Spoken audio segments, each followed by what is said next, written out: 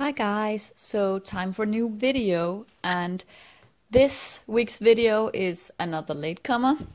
Um, it is my take on the latest YouTube Artist Collective uh, theme, which is Ice Fantasy.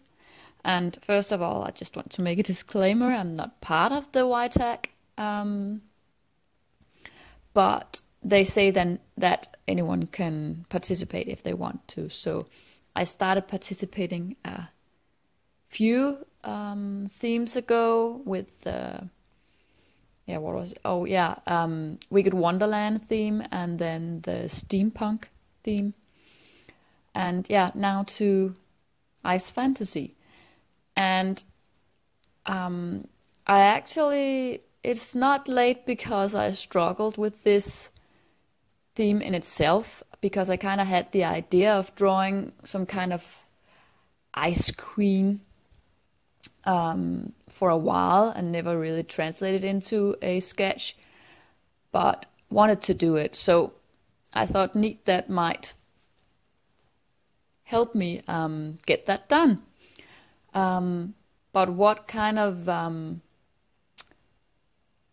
protracted the the whole thing was the background. So I always seem to struggle with backgrounds and what to put in my backgrounds to make them interesting while not having it kind of overtake the whole piece.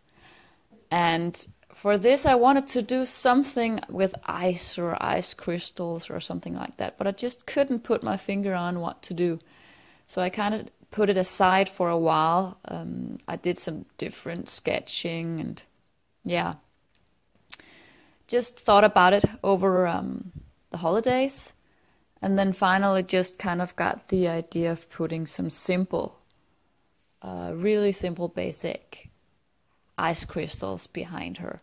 So I don't know if I'm completely satisfied if with how it turned out. I I think I should have put more to make it more interesting than the two big ones I did.